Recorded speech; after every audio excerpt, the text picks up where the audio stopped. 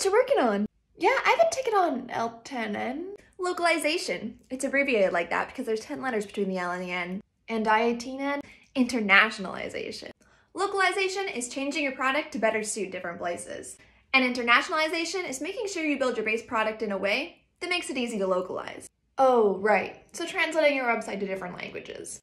But not only that. To localize, you might need to change sorting, color usage, date formats. Like if I told you to dress for 85 degrees Fahrenheit, that'd be an English sentence, but... Yeah, I have no idea.